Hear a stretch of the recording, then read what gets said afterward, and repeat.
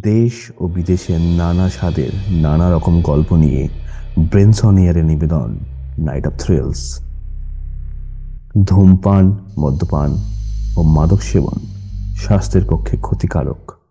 ব্রেনসনিয়ারে আজকের গল্প, বাড়ি, বুড়ো, বুট। গল্পের রচয়িতা হেমেন্দ্র কুমার রয়। বাড়িখানি ভারী ভালো লাগল। চারিধারে বাগান। যদিও ফুল গাছের চেয়ে বড় বড় গাছই বেশি। টেনিস খেলার জমি, মাঝে মাঝে শ্বেত পাথরের বেদি, একটা ছোট পাহাড়ি ফোয়ারা, আর এখানে ওখানে লাল কাঁকর বিছানো পথ। বাড়িটা দোতলা। একেবারে হাল ফ্যাশনে না হলেও সেকেলে নয়। বাড়ির জানালায় বা দেয়ালে প্রাচীনতার কোনো চিহ্নই নেই। কোথাও ফাট ধরেনি। কোথাও অসত্য বট এসে জোর করে জুড়ে বসেনি। কিন্তু তবু মনে হলো বাড়িখানি যেন রহস্যময়। ভাবলুম বাড়ির মাথা ছাড়িয়ে উঠে মস্ত মস্ত গাছগুলো নিজেদের জন্য একটা ছায়ার জগৎ সৃষ্টি করেছে, বলেই হয়তো এখানে এমন রহস্যের আবহ গড়ে উঠেছে। আমার পক্ষে এও এক আকর্ষণ, আমি রহস্য ভালোবাসি। রহস্যের মধ্যে থাকে রোমান্সেরও গন্ধ। সাঁওতাল পরগনার একটি জায়গা। স্ত্রী ও ছেলে মেয়েদের বায়ু পরিবর্তনের দরকার।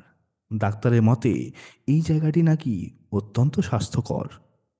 তাই বন্ধু প্রকাশের সঙ্গে আমি এখানে এসেছি মনের মতো একটি বাড়ি খুঁজে নিতে। বাড়িটা খুঁজেই আজকে ট্রেনে কলকাতা ফিরব। খানিক ডাকাডাকির পর বাগানের ভেতর থেকে একটা লোক বেরিয়ে এলো। তার চেহারা না মালি, না দারোয়ান, না ভদ্র, না ইতর। তার বয়স আশিও হতে পারে একশো হতে পারে। মাথায় ধবধবে সাদা, এলোমেলো লম্বা লম্বা চুল। তার কোমর এমন ভাঙা যে হাড় জিরজিরের দেহের উপর একেবারে দমড়ে পড়েছে। কিন্তু হাতের লাঠি ঠকঠকিয়ে সে এত তাড়াতাড়ি এগিয়ে গেল যে তার অসম্ভব ক্ষিপ্রতা দেখে বিস্মিত হলুম। সে জিজ্ঞাসা করল আপনারা কি চান? বাড়ির ফটকের উপর লেখা আছে, টু লেট, আমরা এই বাড়িখানা ভাড়া নেব। লোকটা হঠাৎ মুখ তুলে তাকালো। সে এতক্ষণ মাথা হেঁট করেছিল বলে তার চোখ দেখতে পায়নি। এখনও দেখতে পেলুম না, কারণ তার চোখ দুটো এমনই অস্বাভাবিক কঠোরগত যে প্রথম দৃষ্টিতে তাদের আবিষ্কার করাই যায় না। মনে হয় লোকটা বুঝি অন্ধ। কিন্তু তারপর লক্ষ্য করে দেখলুম দুই কোটরের ভিতর থেকে কি যেন চকচক করছে। দুই অন্ধকার গর্তের মধ্যে যেন দুই দীপশিকার ইঙ্গিত। লোকটা আবার মুখ নামিয়ে ফেলে থেমে থেমে বলল ভাড়া নিতে চান? এই বাড়ি ভাড়া নিতে চান? বেশ বেশ। বাড়িখানা আমাদের পছন্দ হয়েছে। এ বাড়ি মালিককে? বাড়ির এখনকার মালিক থাকেন বিলাতে। আগের মালিক কোথায় থাকেন কেউ জানে না। তাহলে ভাড়া দেবো কাকে? আমাকে। কত ভাড়া? সেটা ঠিক করবেন আপনারাই রহস্যময় বাড়ি রহস্যময় বৃদ্ধ এবং তার কথাগুলো কম রহস্যময় নয়। মনে হলো রহস্যের মাত্রা যেন ছাড়িয়ে যাচ্ছে এতটা ভালো নয়। কি বলব ভাবছি হঠাৎ গায়ে পড়ল এক ফোঁটা জল। চমকে মুখ তুলে দেখি ইতিমধ্যেই আমাদের অজান্তেই আকাশে হয়েছে মেঘের সঞ্চার। বুড়ো বললে বৃষ্টি আসছে আপনারা কিন্তু একটু ভেতরে গিয়ে দাঁড়াবেন চলুন। বুড়োর পিছনে পিছনে বাড়ির নিচের তলার বারান্দার তলায় গিয়ে দাঁড়ালুম ঝমঝম করে বৃষ্টি নামলো। প্রকাশ আমার দিকে ফিরে বলল বৃষ্টিতে এখানে দাঁড়িয়ে থেকে লাভ নেই।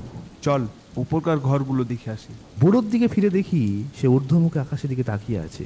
আমি তাকে ডাকলুম। সে যেন শুনতেই পেলে না। খানিক পরে হঠাৎ বললে ঘড়িতে কটা বেজেছে? হাত ঘড়ির দিকে দৃষ্টিপাত করে বললুম এখন তো সাড়ে পাঁচটা। বুড়ো যেন শীতার্থ কণ্ঠে কাঁপতে কাঁপতে বললে হ্যাঁ, আকাশে মেঘ আরও জমে উঠেছে। অন্ধকারে সন্ধ্যা নামবে তাড়াতাড়ি। এ বৃষ্টি সন্ধ্যার পরও পড়বে। না পড়তে তো পারে? না না না এই বৃষ্টি এখন থামবে না।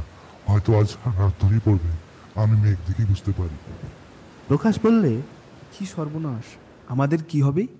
আজই তো আমাদের কলকাতায় ফিরতে হবে। বুড়ো ঘাড় নাড়তে নাড়তে বললে বৃষ্টি আজ থামবে না আজ থামবে না। পাহাড়ে নদী ফুলে উঠবে মাঠ ভেসে যাবে পথ ডুবে যাবে পালাতে চান তো এখনই পালান। সন্ধ্যার পর রাত আসবে ঝড় উঠবে বন কাঁদাবে এ বৃষ্টি আজ থামবে না এখনও সময় আছে পালান পালিয়ে যান। বুড়োর কথাবার্তা ধরন দেখে রাগ হলো। বিরক্ত কণ্ঠে বলল ঠাট্টা রাখো শোনো এই একদম বাজে কথা বলবে না। এ বাড়ি আজ থেকেই আমি ভাড়া নিচ্ছি। বৃষ্টি না থামে আজ এইখানেই আমরা থাকব। কত টাকা দিতে হবে বলো? বুড়ো আবার মুখ তুলল। আবার দেখলুম তার চক্ষু কোটরগত দুই দীপশিখার ঝিলিক। দন্তহীন মুখ ব্যাদান করে নীরব হাসি হেসে সে বললে আজ রাত এখানে থাকবেন? থাকতে পারবেন? কেন পারব না? বাড়ির আগেকার মালিক আজ রাতে এখানে আসবেন। তিনি কোথায় থাকেন কেউ তা জানে না। কিন্তু বৃষ্টির রাতে ঠিক এখানে বেড়াতে আসেন। তাকে দেখলে মানুষ খুশি হয় না। দোতলার হল তার জন্য খোলা থাকে। বৃষ্টির রাতে ও ঘরে একটা কাণ্ড হয়েছিল। কি হয়েছিল? রক্তাক্ত কাণ্ড। সন্ধ্যার সময় মালিক ফিরে এলেন তখনও ঝুপঝাপ বৃষ্টি পড়ছে। হাতে তার বন্ধু পরনে তার শিকারের পোশাক। তারপর না না না না সেসব কথা বলে হ্যাঁ, আপনাদের আসলে কাজ নেই। হ্যাঁ, কিন্তু সেই দিন থেকেই বাড়ি খালি। এ বাড়ি কেউ ভাড়া নিতে চায় না। আমি হো হো করে হেসে উঠলাম। তুমি কি আমাদের ছেলে মানুষ পেয়েছ যে যা তা বলবে আমি ভয় পেয়ে যাব? বেশ বেশ বেশ। হ্যাঁ তবে তোমার থাকো। আমি চললুম। সাবধান সাবধান সাবধান। বলতে বলতে বুড়ো লাঠি ঠকঠকিয়ে অত্যন্ত ক্ষিপ্র পদে আবার বাগানে নেমে অদৃশ্য হয়ে গেল। প্রকাশ বলল পাহাগোল পাগল নয় পাগল নয়, পাজি পাজি, বুড়োটা পাজি। বুড়োর হয়তো ইচ্ছে নয় যে কেউ এখানে ভাড়া নিক। সে একলাই থাকে এখানে, বুঝলি? রাজত্ব করতে চায় এখানে। কিন্তু বাইরে যখন ভাড়াপত্র টাঙানো আছে, তখন আমাদের ভাবনা কি? চল, একবার দোতলার ঘরগুলো দেখে আসি। দোতলার বারান্দায় উঠে দাঁড়ালুম। সেখান থেকে অনেক দূর পর্যন্ত দেখা যায়। আরও পুরু আরও কালো হয়ে উঠেছে আকাশের মেঘ। আরও জোরে জোরে আরও ঘন ধারায় পড়ছে বৃষ্টি, ঝমঝম ঝমঝম করে।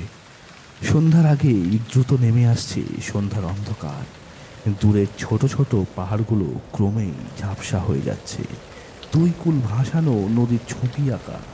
জল থই থই করা প্রান্তরের মাঝে মাঝে বড় বড় গাছগুলো মাতাল হয়ে টলমল করছে ঝোড়ো বাতাসের দীর্ঘশ্বাসে। প্রকাশ বিষণ্ণ স্বরে বলল বুড়োর একটা কথা কিন্তু ঠিক। আজ আমাদের এখানেই বন্দি থাকতে হবে।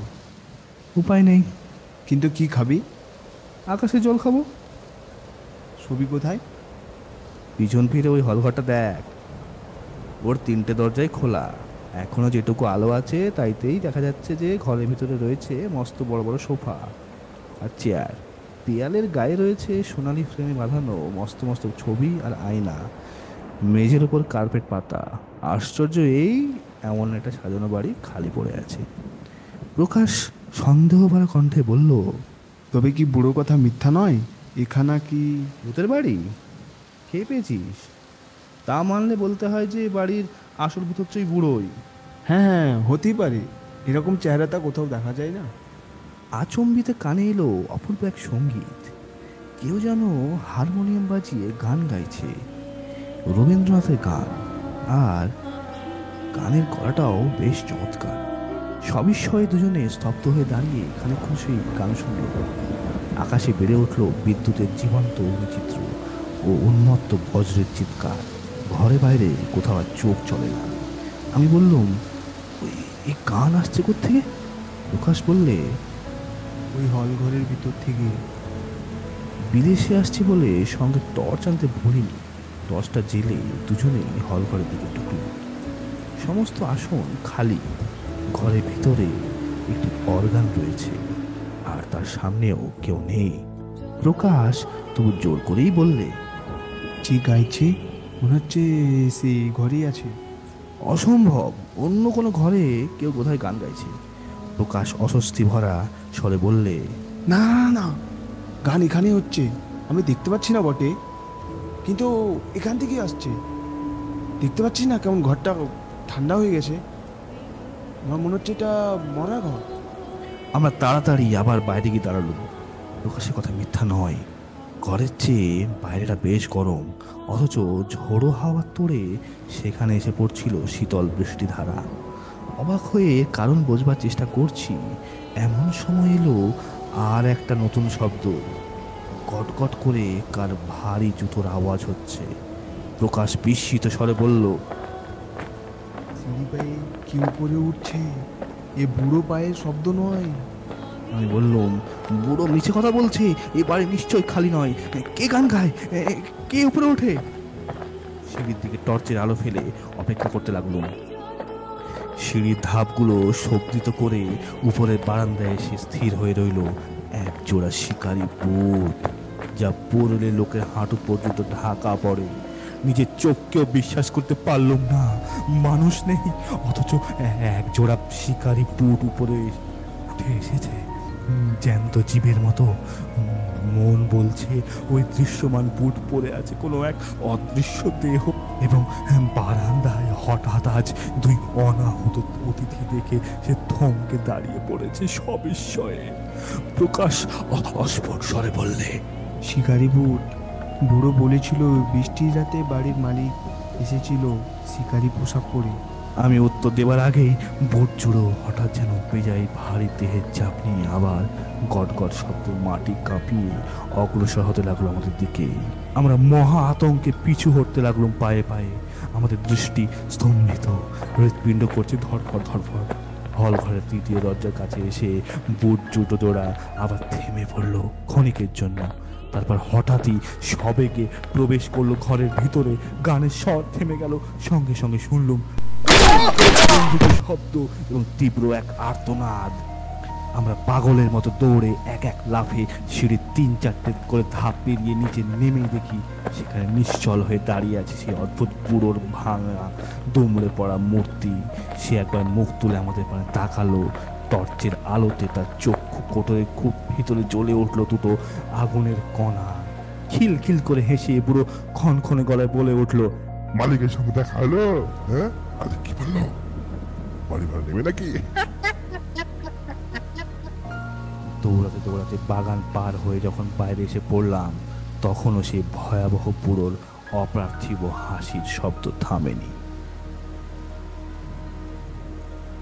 শুনছিলেন নাইট অফ থ্রিলস ভিডিওটি ভালো লেগে থাকলে আমাদের চ্যানেলটি সাবস্ক্রাইব ও শেয়ার করতে ভুলবেন না।